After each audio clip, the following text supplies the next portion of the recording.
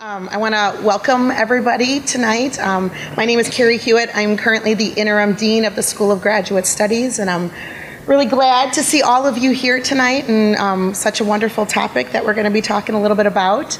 Uh, so I'm going to introduce to you um, Professor Lawrence Brown, LB. Um, and uh, LB has over 20 years of experience in corporate education, leadership development, diversity, equity, and inclusion, and executive coaching. He is currently the program director for our MBA program and assistant professor here at Elmhurst University.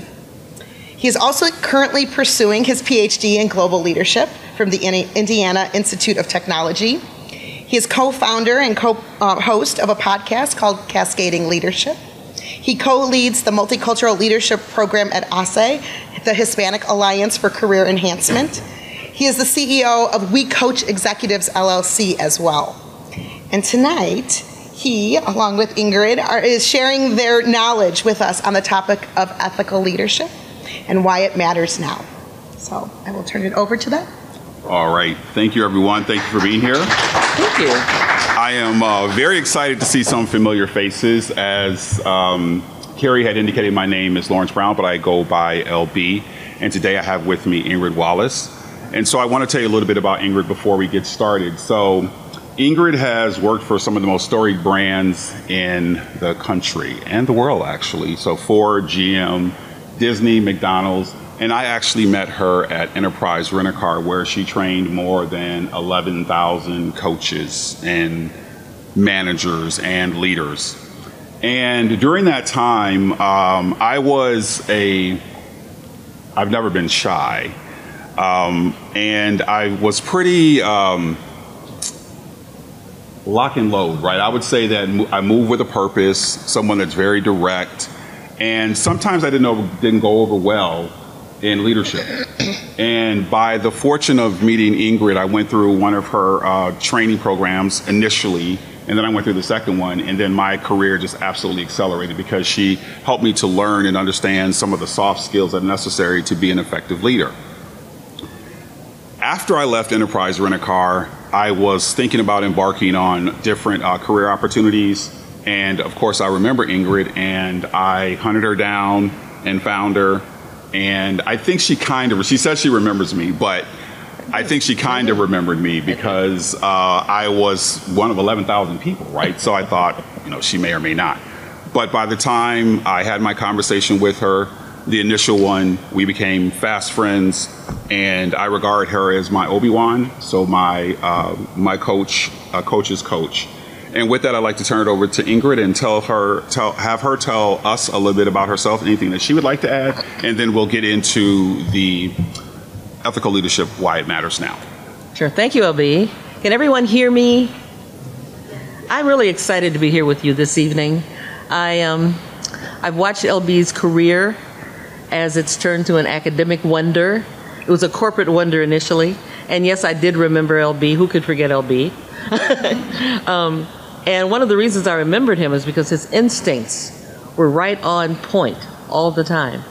Even though he didn't have the formal training at that time, he was a natural leader. And, and people followed him and listened to him. And that's one of the things I noticed in class. So as I was training leaders, um, I, I trained 11,000 leaders at Enterprise, and then I was called by McDonald's, who asked me to do some work for them. And I developed a program called the ITC Leadership Series individual, team, and corporate. In the individual um, session was um, leading with accountability and responsibility. How do you take responsibility for your actions? How do you take responsibility for producing results? That was the individual course. The team course was peer dynamics, which later became leadership dynamics, uh, which we, we do in, for many clients right now. And after we did the team one, McDonald's said, well, how about an international one or a, a corporate one? And I said, well, the only thing I can think of is ethical leadership. It was, you know, it was very important to me um, that the leaders I had talked to, I mean, I had a laboratory of 11,000 leaders at one company, 20,000 leaders at another company uh, over the years, and I was, it was necessary, I thought, to talk about ethics. So I developed a course ethical leadership for McDonald's um, that we ran for about eight years. And LB asked me today, he said, What's your definition of ethical leadership? And I said, Matching the highest intention with the highest behavior or actions for a positive and beneficial outcome. I'll say it again matching the highest intention with the highest behavior or actions for a positive and beneficial outcome. And one of the re- one of the other reasons um, I came up with this idea, even prior to McDonald's, I was working with um, law enforcement. I was working with an, a law enforcement organization that was um, emergency medical, fire, and police. And these were the highest paid EMC people in the country. These law enforcement officers started at $80,000 a year 20 years ago. It was unheard of. and they were having problems. They were having problems because they were accused of profiling individuals. And at that time, it was a hot topic. In New Jersey, um, profiling had landed um, police departments in, you know, in Senate hearings at the time. So they came to me and they said, Ingrid, we're not profiling. I said, oh yeah, prove it. And they said, well, um, we're not doing it. I said, well, tell you what, this is, this is how it's going to work. I said, if you are not profiling, we'll find out. And one of the ways they wanted to prove that, they asked this police department to be the first ones ever to use cameras, ever. And they said, we don't want to wear cameras. I said, you have to wear cameras. Because if in fact you are not doing what they say you are doing, it will vindicate you. If you are, you have to cut it out. It's really very simple. So um, there was there was an officer who was very renowned for his training skills. He'd been on the force a long time. He was he was very highly ranked in the department, and he had a photograph left on his desk, and this photograph was highly offensive racially, sexually, um, and it, it, it involved a corpse and drugs. That's all I'll say. But it had this officer smiling over this corpse. And this was a, this was a gag from students in his class who had given it to him. And it was on his desk. Someone took a picture of it and sent it to the crime commission. Can you imagine? And so they squelched it right away. And they said, Ingrid, what should we do? I said, throw the book at him. And they said, but he's such a nice guy. I said, yeah, but you're going to have to throw the book at him. You're going to have to do it. You're going to have to, you know, put him through the paces. So they said, what would you do? And I said, well, I've got this course, Ethical Leadership. I've got this inventory that I'm working on. And I would like to um, put him through the ethical leadership battery that we've gotten and, and talk about how it works. And it's very simple. It matches your intentions on a scale. It matches your, be- your behavior or actions on a scale. It matches that, the, the two of them, and it comes out with a rubric. And it's really simple. Uh, what if you had high intentions and low behavior? What's the short term effect of that? So let's get them to that after we talk about a couple things because Okay. I want them to get a sense of. So you're, you you mentioned uh, what's happened um, from the standpoint of a more um, micro perspective, Mm-hmm. but when you think about what we're seeing today uh, on, a, Mm-hmm. on a more global level, right? So, for example, uh, so for those of you that are familiar with FTX, which is the the Bitcoin, uh, the cryptocurrency uh, company, Theranos. Everyone familiar with Theranos? Mm-hmm. Right. Right. Two two really big ones are examples of where ethical leadership went awry. Yes. Right. So, tell us a little bit about um, you know what what you see and in fact why ethical leadership matters now. Okay, I was actually going to get to that, sort of, kind of. Yep. The fact is, I'll, and I'll say it, I'll, I'll just tell you the end really quickly. He had high intentions and low behavior because he thought that he was, you know, helping his helping his buddies, you know, the students in his class. He was being, you know, congenial, but the actions, actually leaving that picture on his desk, you know, um, it ended up with a negative impact, which is short term, and a negative outcome, which is long term. Um, it got me to thinking, and it got a lot of people in corporations to thinking um, how do we evaluate our own actions? And we're seeing with, you know, um, Theranos and, and with the Bitcoin industry, um, how what happens when a leader does not account for their own intentions. They're not accountable to anyone. Um, I was listening, I was at a funeral last week, and someone said, um, We evaluate others by their actions, we evaluate ourselves by our intentions. In the cases you're talking about, no one ever stressed the importance of those individuals evaluating themselves by their intentions. So why do you why do you think though that I would imagine that someone that amassed seven hundred million dollars along the way and telling stories about basically uh, so for Theranos, mm-hmm. the the idea that you could detect all of these different diseases from a drop or a few drops of blood, mm-hmm. the person um, knew um, Elaine knew that she was unethical, right? Mm-hmm. What, what, why do you think that she may have may have pressed beyond that in, in terms of like how you correlate that to your model? Well, when I correlate something like um, Theranos to my model, I'm saying here's a leader because it's about leadership. Mm-hmm. You know, that's why I created the model. Here's a leader who was not honest. Here's a leader who intentionally misled people. And the actions that followed were not only her actions, they were actions of an, an entire corporation. And the people followed her blindly. It doesn't mean that all of those individuals were unethical. It doesn't mean that they were, their intentions were low. You know, many of them were very jubilant about being able to have this miracle cure mm-hmm. and, and being able to look at a drop of blood, you know, and, and being able to diagnose all of these things. Mm-hmm. But they were led to believe it. Mm-hmm. So I, I, think I have some of my MBA students uh, here tonight. Thank you.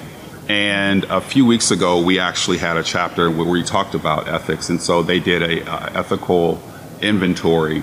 And what I found was interesting, and I shared with the class that there were there was a lot of gray area that people were in fact managing. Ah. Right. So, for example, it was something as small as is it ethical to take a pencil from work? Uh huh. And where you would think the answer would be yes all the way across the board, it wasn't necessarily yes all the way across the board. Yes. My students remember that, right? Mm-hmm. And so I find it interesting that sometimes where our moral compass begins right truly mm-hmm. is on an individual basis versus the you know the broader society. Absolutely. So in the minds of, of some folks they say well yeah i, I guess I, I could do that or, or, yes i could do this. And it continues to grow though. Like where where is that definitive place for the for the ethical standard? And this is where i think you were mentioning that your model comes into play where someone has the opportunity to look at a framework mm-hmm and base what their decisions are off of that. Absolutely. Um, we have um, a small battery of questions where you look at your intentions mm-hmm. and you look at your behavior. And again, on a scale of 1 to 10, for each one, you match them. And some people come up with um, low intentions, high behavior, high intentions, low behavior. And the outcome, impact and outcome, short term and long term, are mapped out for that. Um, I just want to, and you had an interesting question in where does this start? Yeah. You know, where do we get the impetus um, to be honest, essentially, and look at our intentions? And um, I can go back to when I was, I must have been 10 years old. And there was a University of Chicago, I, look, I live in Hyde Park by the University of Chicago. There's a University of Chicago bookstore about a block from my house. And I go there every day. I loved it. And one day I went in and I got a bag of potato chips. And I was so excited. Somebody said something. I ran out the door. I didn't realize I hadn't paid for them until I got out the door. I was so ashamed. I couldn't believe it. And it bothered me so much. About six months later, I literally went in that store when nobody was looking. I took like a quarter, whatever it was, and I slid it across the counter. And I left. And that's that was my impetus right there. Where did I learn that? You know, and it, and it shows up again and again and again. And if we have individuals where it's not showing up, how do we redirect them? When we have leaders that, that we are helping, how do we di- redirect that impetus to do the right thing? Um, and, and to make sure that their actions match high intentions. So here, here's a question that I was actually talking with a colleague earlier before coming over, and I had made the uh, I had made the point of uh, we were discussing at were- the question was from one of my peers was what it- what is that you're going to be talking about from an ethical leadership standpoint, and uh, his I said well we were going to talk about you and talk about your model and talk about the whole idea around ethical leadership. But when over the summer, as a PhD student, as Carrie had mentioned, um, I was in a course, and we went back and forth around. Uh, the example was, I believe, it was a company, uh, Lockheed Martin, and Lockheed Martin is, is one of the is one of the uh, corporations that is known for their ethical standard, right? Yes. And I made the correlation that one of the things that I thought had a, had a part in that was the actual system where a lot of the leaders were former military, where there's rank and file, there's order, there is a sense Right. of a there's a sense of a code, Yes. right? Yes. But how do how do companies that are that don't necessarily have that in, instill the idea of ethical leadership, ethical behavior at the at the grassroots? Um, it's really interesting you say that because many times it comes from the leader, It comes from the very top of the organization. You know, it really does. Um, I, I learned that working for the Walt Disney Company. You know, I learned that people were going around, they, all they wanted to do was please other people. And it sounds corny and it sounds ridiculous. But at the same time, there were people who wanted to do the best thing possible for the organization because they thought the organization made people happy. Sure. You know, so I think that when we talk about at the at the very base of the organization, the leader is going to help determine that. The mission statement is something you've helped me um, develop mission statements in the past with many organizations, and I said the mission statement is who you are, what you do, and the spirit in which you do it. And if, if individuals understand that at the lowest level of the organization, many times if the mission is truly who you are, what you do, sorry, and the spirit in which you do it, um, you're going to find out that, in, that, that they are going to follow that mission. You know, I go back to when they talk about um, the space first space missions, the Apollo space missions, put a man on the moon. You know, all they knew was they said there's a moon, man, man, moon, and they couldn't put it together. But when the mission put it together, all of a sudden, people who were, um, they said people who were doing the riveting said, we're putting a man on the moon. You know, people on the assembly line said, we're putting a man on the moon. You know, I saw Walt Disney when they were winning um, Emmy Awards, you know, in the cafeteria, they were saying, we, you know, we won three Emmys. I said, no, you didn't. You're in the cafeteria. or they said, you know, the person sweeping the street on Dopey Boulevard and, and Mickey Drive, right? They said, we won three Emmys. I said, no, you didn't. You're sweeping on the, you know, the drive. But they had that spirit. They knew um, that they had done something important to help that organization. Sure. Uh, we have a we have a number of uh, students that are that are here, and in class, I have mentioned to many of my students, it's particularly the ones that are coming right from undergraduate and they're pursuing the MBA program. Many of them, I've shared with them, they believe that they're stepping into the corporate world, and it is going to be perfect that they're Oh, going to meet that they're going to i wouldn't say necessarily perfect but certainly the expectation that they're going to have leaders that are fully developed. They're going to have people that will be concerned about their careers. Mm-hmm. And as my mba students have heard that everything that i do in terms of coaching training developing students mm-hmm. is that i ask them literally to be selfish right? This is this is your opportunity to mm-hmm. develop and create your level of expertise that gets you the furthest, right? Be Yeah. intentional about what your MBA journey is going to be one to three years after you after you graduate, right? Literally tell people that, hey, I'm in grad school right now. I need to I need to focus. Mm-hmm. But one of the other aspects of it is is that making sure that they're clear and they understand that when they step into the workforce, that there is an opportunity for them, right? Because they have a better sense of clarity. What would you suggest as something um, new graduates, alumni can focus in on, on developing that true sense of uh, ethical leadership? Well, I would say, it's a great question, by the way. I would say that one of the misconceptions is that leaders are fully formed. You know, when you come out of graduate school and you, and you see a, a senior manager, uh, you know, somebody in the C suite, they're fully formed. They don't need help. They are not, by any stretch of the imagination. If they're any good, they're lifelong learners. You know, we see that in someone like yourself, you know, always wanting to learn more. Um, and as an executive coach and a C suite coach, what I like most of all is I get to talk to people about their intentions. I get I get to see the root of where they're coming from. I get to predict where they're going. I get to go with them there or help divert them someplace else. Okay, I have that that honor, you know, to be able to do that.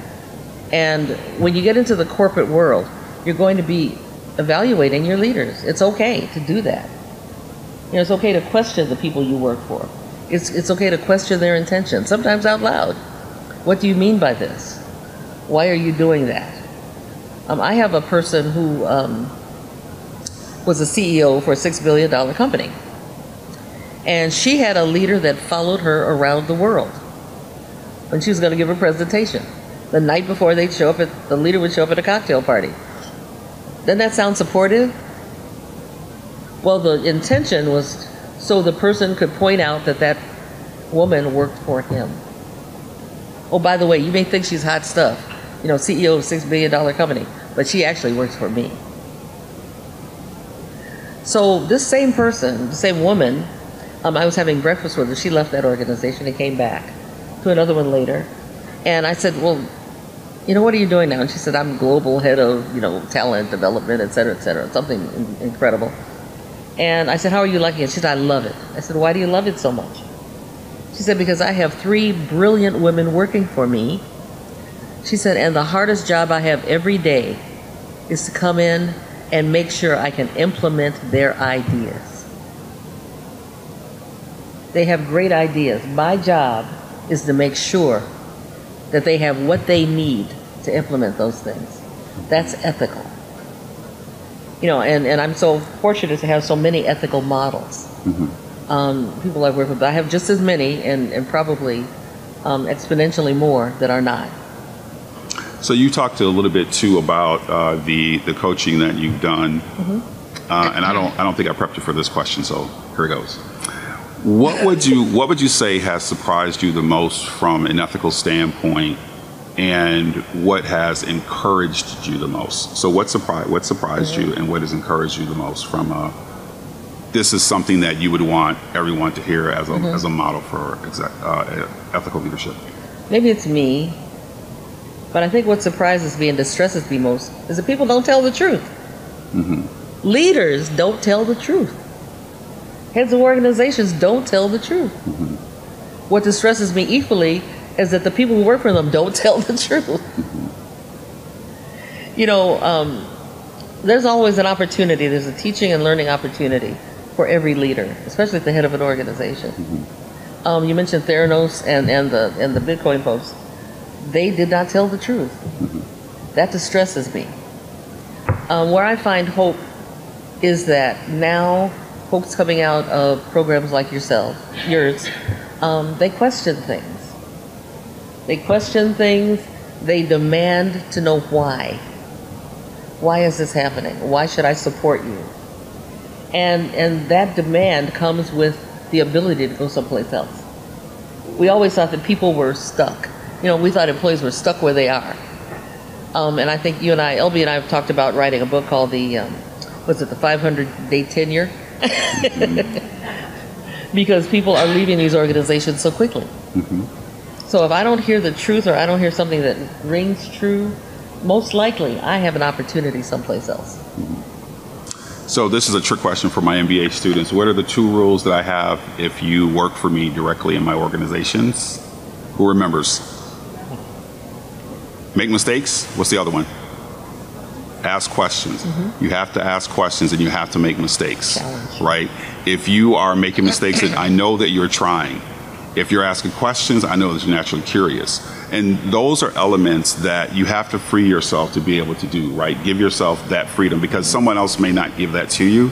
And as I've said before, if people are not willing to answer the question, therein lies your answer.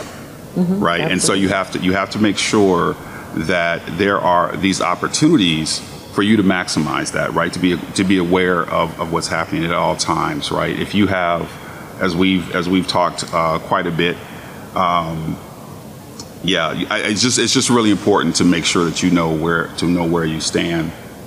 Um, another question around ethical leadership, and I'm I'm leading the witness, um, is this quiet quitting that everyone's been talking about, right? This this new thing of quiet quitting.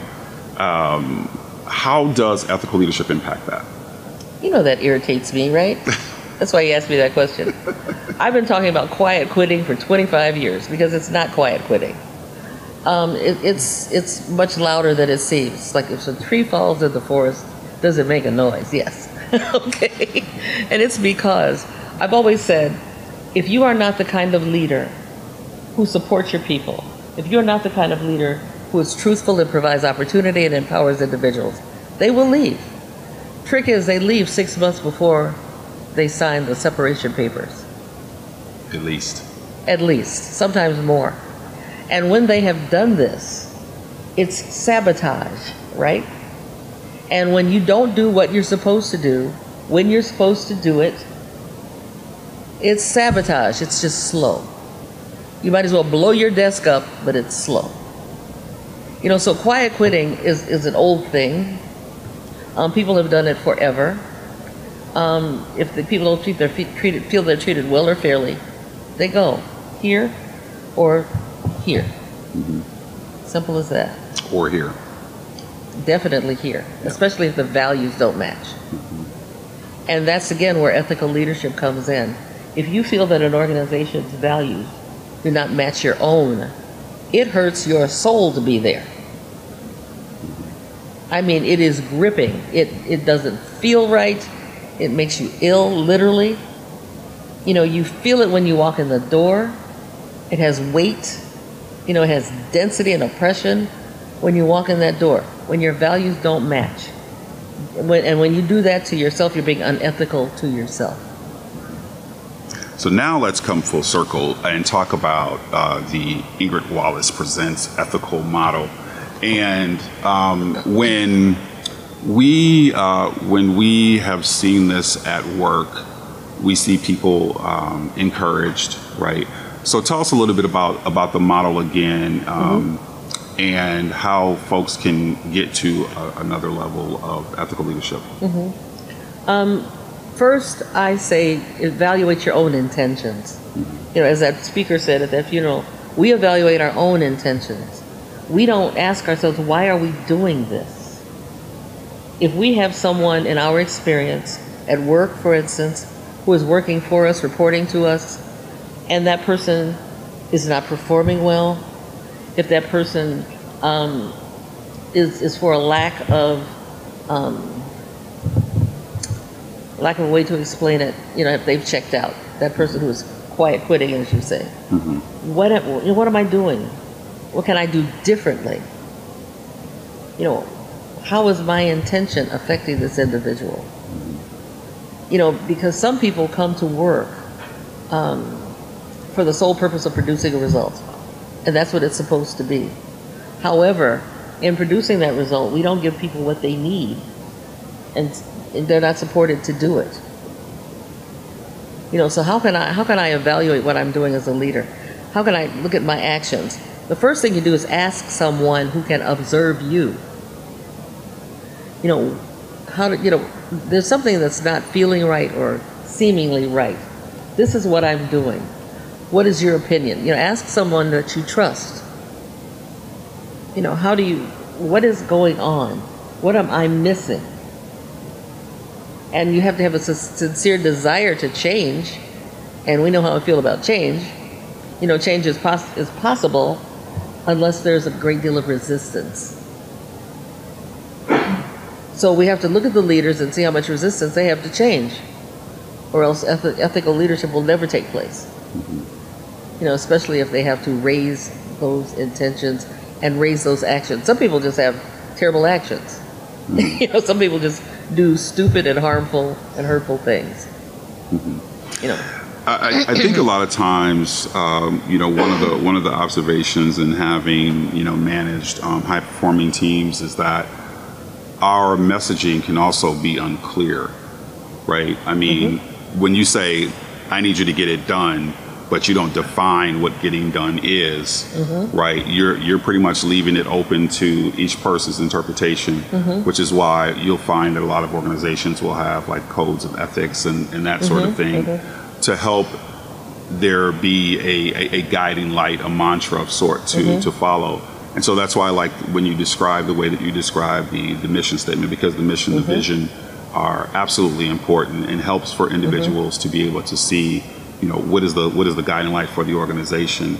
And hopefully you do align with with the organization, the ethical behavior or, or the ethical standard of an of an organization.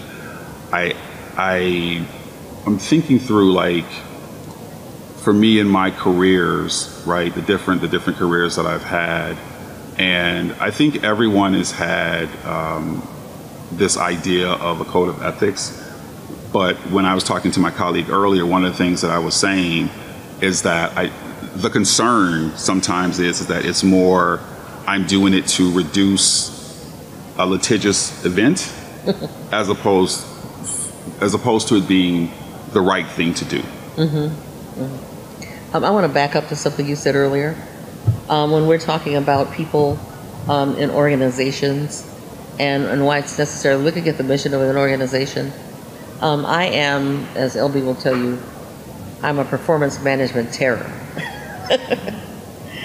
but it is couched in the fact that individuals need to know what's expected of them.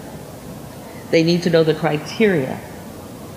And once they know the criteria and they're led to meet the criteria, then um, we can evaluate them fairly. Give you an example. Um, most times, I ask folks, you know, why did you come to work today? And they say, I got, I got a mortgage, I got kids, they're in college. Wrong. It's to produce a result. You have a covenant, an agreement with your organization that you're going to produce that result. How are we going to go about doing it? How are we going to go about making that happen as leaders? First of all, um, we're transparent. We tell individuals what it is we expect of them. We give them the opportunity to do that. We coach them when they're not quite making the mark, as LB says, make those mistakes. We have to coach them and get to them to the point where they do what we need for them to do. If you're not meeting goals of your department, or if you're not meeting the goals of your manager, supervisor, division, the organization is not going to meet its goals. And there was something that you mentioned that I wanted to touch touch on when you were uh, asking for folks to to reach out. Um, from a, from a coaching standpoint, the technical term is a 360 feedback, and the the first time that I really heard 360 feedback was from you way back, at, you know, in the enterprise rent a car days. And what I found is that more organizations are actually doing it. So a 360 feedback is basically um, a survey of sorts that you will send out to people in an organization. And they can be, I, I prefer mine to, I want to know who it is, but of course, for people to feel more comfortable, um, you know, it's anonymous, right? So that, but for me, I, I like to know because I like feedback. I like people to be candid with me, right? One of the one of the challenges that I found is that Ingrid has helped me with over the years is that everybody else doesn't like candor, right? Because we're a society where we're teaching people how to be nice. But the challenge with that is for me is that I need the feedback. I need what I, if if it's broken, I need to know that it's broken, and if I broke it, I need to know that I broke it so that I know I know how to fix it, right? Or I can ask, well, how do you how do you fix it? But if no one's telling you, right, then then you don't know, and then it continues to happen. So I like uh, candor, and so not sure if I'm, I'm supposed to, but book plug, uh, Radical Candor by Kim Scott. My, I know my MBA students are laughing at me because every every every class I will give a, a book to read, but Radical Candor is a, is a very uh, a very good book to read uh, that talks that talks about this and how it can help you to develop. And I think that candor, in my humble opinion, is an example of ethical leadership. You should let Mm-hmm. people know where they stand. Absolutely. No question about about that. And I just want to put in a plug for my ERRC, my Executive Reading and Research Coach, SLB. um, and what he does as an ERRC, he'll read 10 books all the time. And I'll say, which three? Okay, which three do I need to read?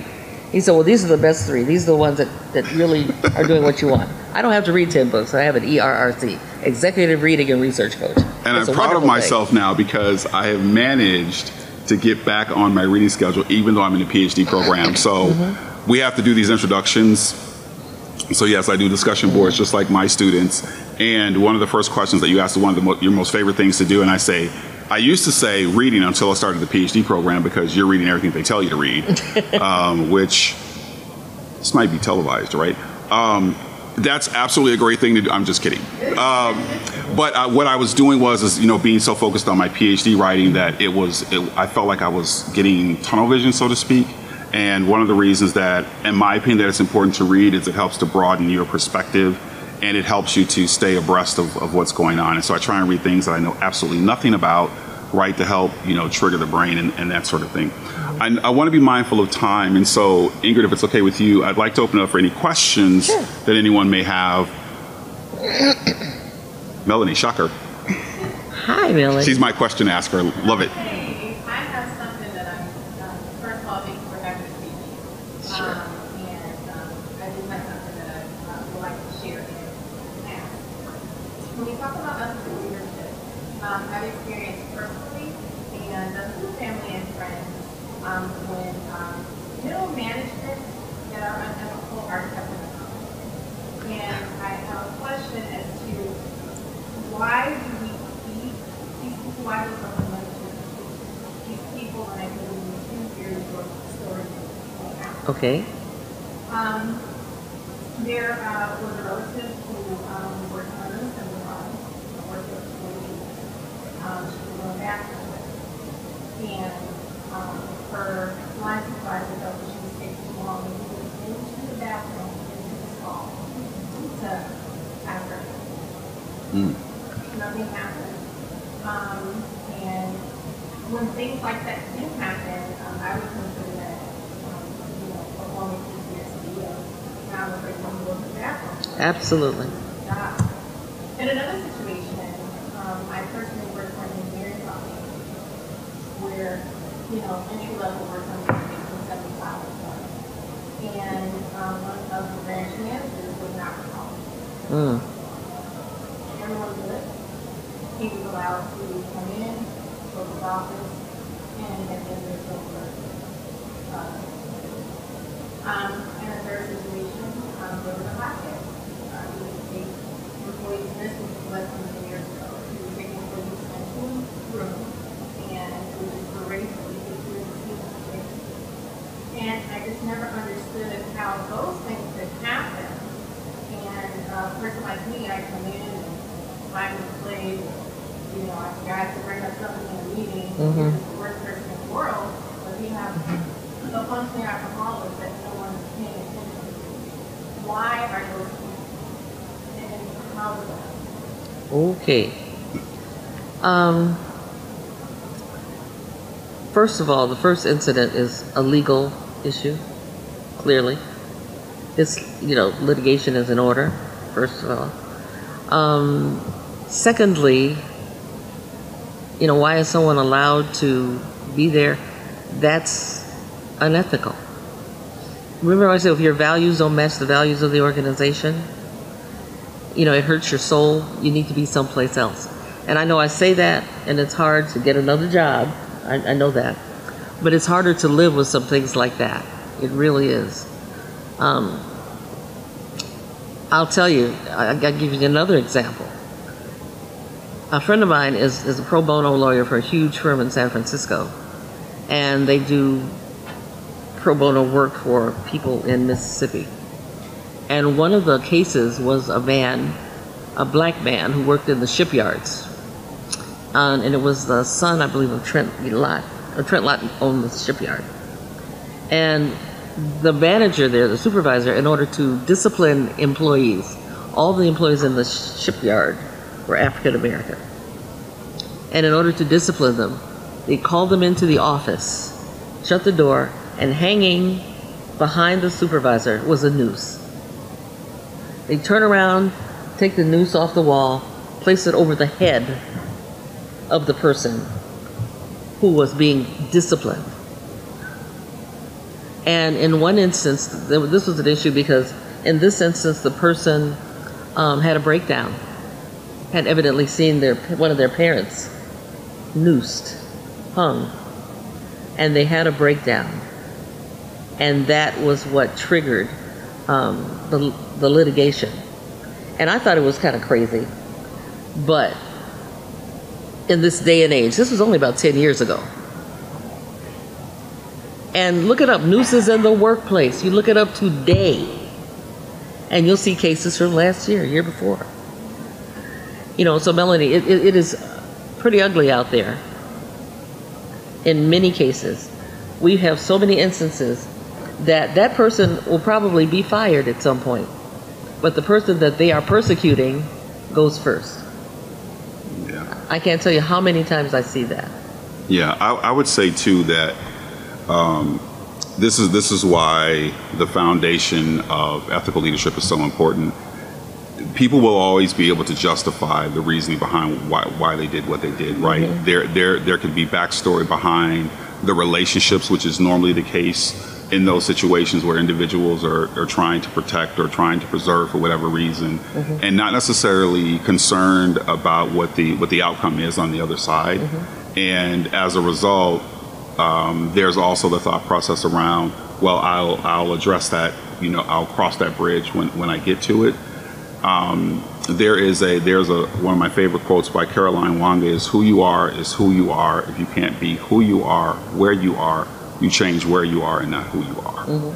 And that's one of the that's a dynamic where yes, uh, and Ingrid actually uh, shared this story with me many years ago when I was uh, working somewhere, and uh, and I actually share this now when I'm when I'm actually coaching. I use the term if the if the house is not coming down on you, do what is necessary to, to maintain your job. You know, do your best and all of that. But at the same time, you should be preparing to make the logical move in your career so that you're able to to move, uh, so that you're able to to get to that next opportunity. And this is where oftentimes having either a coach or a mentor comes into play that can help guide you down guide you down that path it's it's one of the things that, that I think you all have heard me say that is most exciting about what I do as a professor and as the director of the MBA program is that I get to actually help people and move to the next level of success. Right, that's extremely exciting. But you all have also heard me say that uh, be clear about what your intentions are so that you know because a lot of times we don't have a sense of, of direction and it may it may delay what we know is the decision that we need to make. Mm-hmm. So the broader question is is that when is it time for you to move to move on from those from those mm-hmm. situations? So that just a because those are three terrible mm-hmm. examples.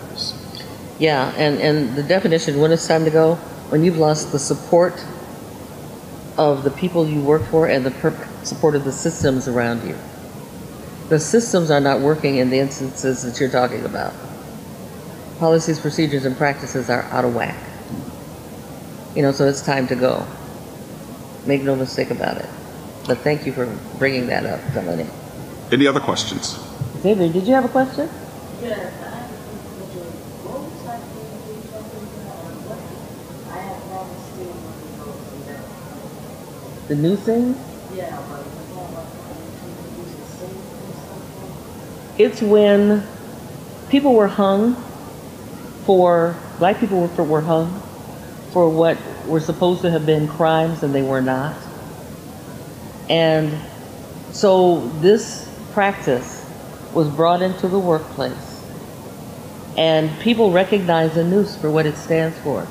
So if something is going on at work and the supervisor doesn't like it, the supervisor would bring out the noose because they would know it would frighten that person to death. And then they put the noose around their neck so they could get them to obey. And that was wrong, illegal, and very unethical. But thank you for asking that question.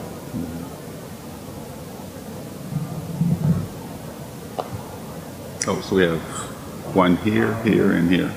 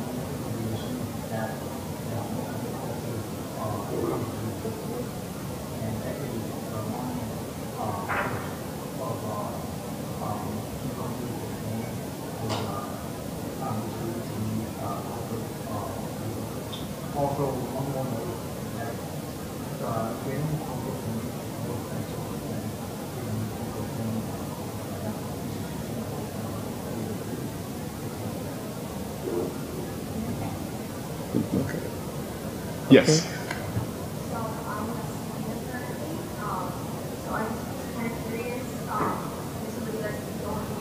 or what are the test, I guess, like, ways to set up a condition for one of the.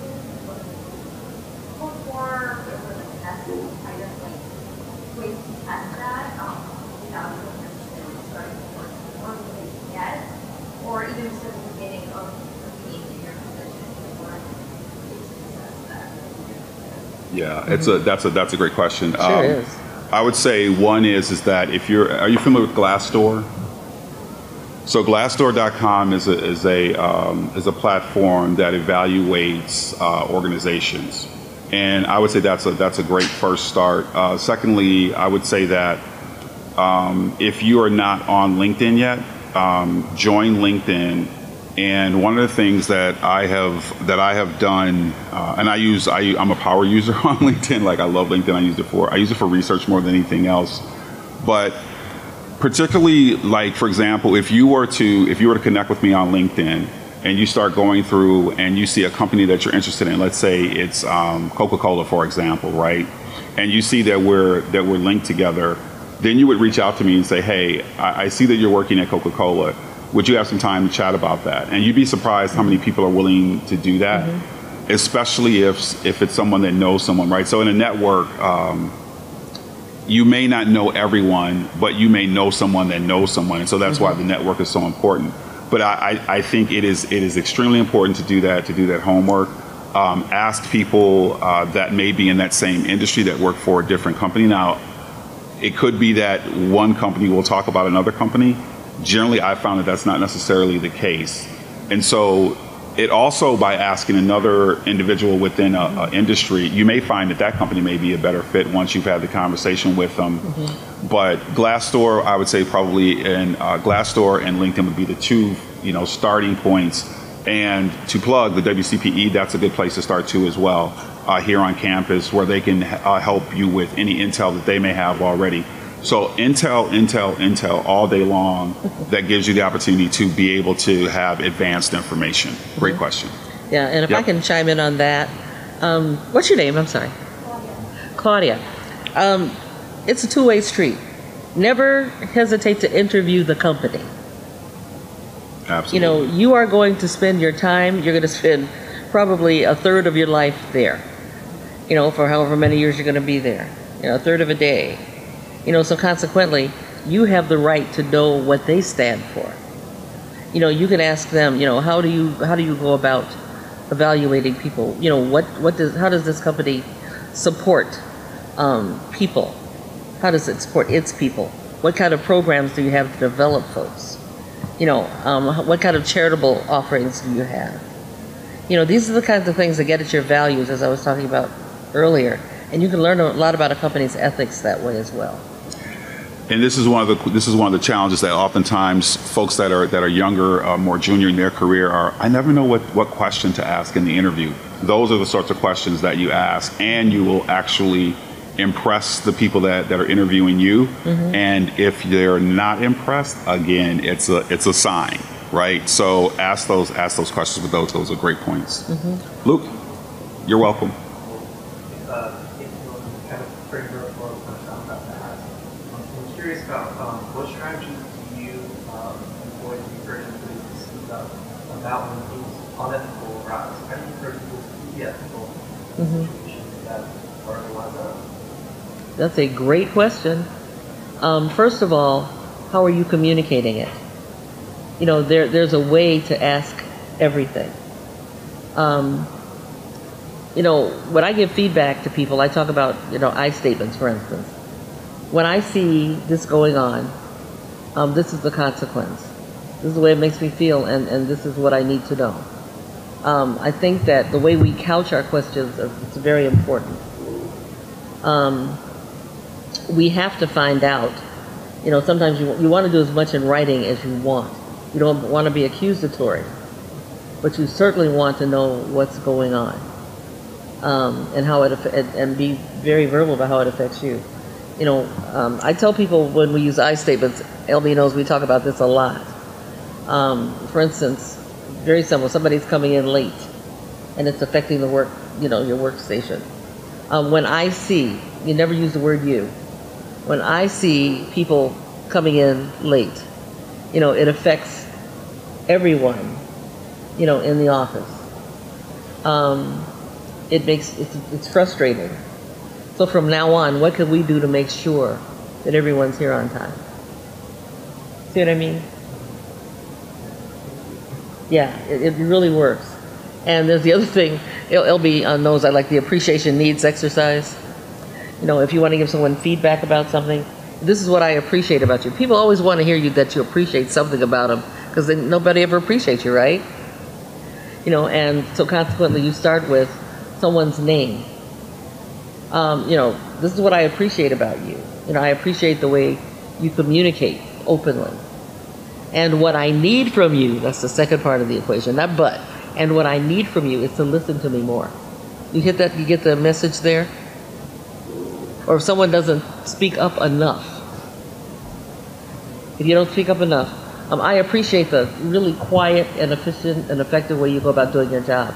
And what I need from you is to hear from you more. See that? The first person you didn't have to tell to shut up, and the second person, um, you said you needed to hear them say something when they're not saying anything. So you have to you have to learn how to couch these things in communication, but you have to communicate. Yeah, I, I would add that if it, if it's something that you think is potentially um, that may um, that could have potential aggressive outcome, right? I think the, the first thing that I think about is, is I ask the question, right? Or if I hear something that is inappropriate, I will say, really, why, why would you say that? Or, or how would you, where, Exactly. where would you, where would you, uh, how do you evaluate that? You know, ask, asking the question in, in an inquisitive way as opposed to an accusatory way Right. is, is really, is really important.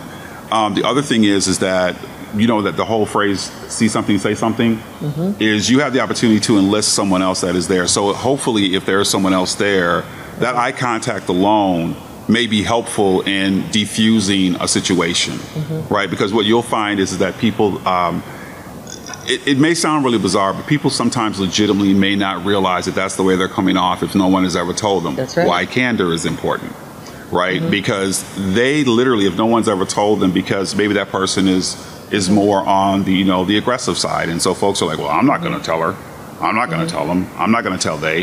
You, you you just right? But when but when we are mindful right which is which is extremely important to be then you you can you can manage it more you can manage it more effectively. Mm-hmm. And again everything that we're sharing is it's not like a magic wand. It's not like it's the, it's the No. it's a, it's a golden you know a golden opportunity mm-hmm. It's just gonna you know click and happen you also have to practice it too right to, to get to that It's point of, practice, of, of proficiency so when i started off i mean first of all which everyone laughs when i say this but i i am a raging introvert so outside of, outside of this outside of this realm, most of my time is in my books on the computer, very often and, and to myself. That's how that's how I recharge. Me too. But believe me, when it's time for me to be on stage, I'm on stage. Mm-hmm. But it will it will absolutely drain me. I was just in Canada for a week. And I, I, I don't know where what I'm running on right now, but Hit the wall. it's working. But the, yeah, the wall I'm going to hit that wall in, in a little bit. So Yeah, absolutely. Any other Thanks for the questions? question.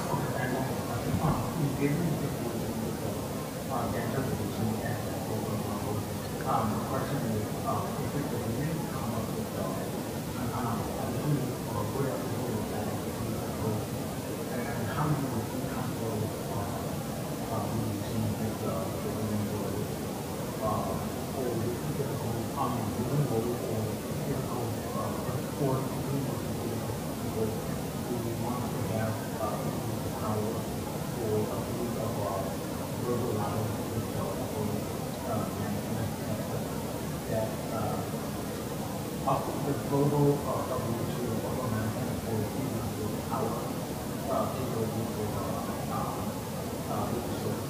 Uh, so in a couple of months, I understand we have uh, made, uh, the um, uh, the energy, mobility, and uh, different uh, components for that uh, and work with it. But I don't know um, how to go the evolution to the the the manpower uh, of the the upper management to uh, to provide the money and take the uh, leadership role because uh, I'm coming from different background and I have uh, I have a role of content and um, I'm actually not able to uh, have a uh, lecture or go to uh, um, and somehow I will have a conception uh, conception of a conflict uh, uh, with the outcome on the different side.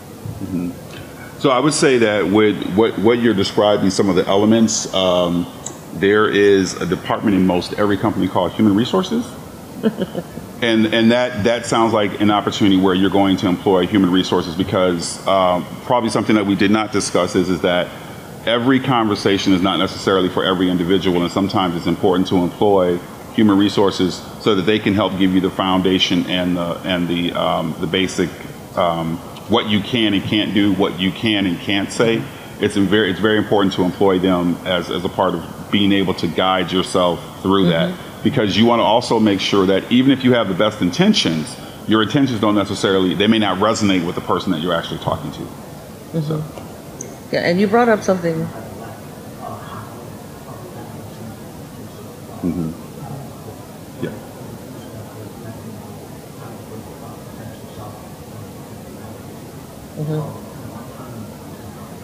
Yeah. Um, one of the things that that was just brought up is attitude. You know, um, I would say attitude is the way one expresses the way they are, whatever they are thinking, feeling, or experiencing. That's what attitude is. A positive attitude, in my opinion, means that energy is flowing in the direction of producing a positive result. A negative attitude means energy is flowing in the direction of, in the opposite direction of producing a positive result. That's why uh, somebody with a negative attitude can walk into a room and suck up all the energy. You ever notice that? It's gone. And if you're a leader and you have people um, that are doing that, it's a performance issue. People don't realize this is a performance issue. If you are doing this, if you are taking the energy that it needs to get the job done and you're changing it where people cannot get the job done, there's somewhere on that performance review because you know the criteria by now. There's somewhere in that performance review where it can be indicated. One hopes. One hopes. One hopes. Absolutely. All right. Well, Ingrid, thank you very much. We are at time, and I want to thank you all for for coming out. Uh, I am absolutely humbled by the number of people that, that came out. I also thought we maybe have like four or five. So thank you so much I'm for so being happy to be here with you. Thank you so much. Yep.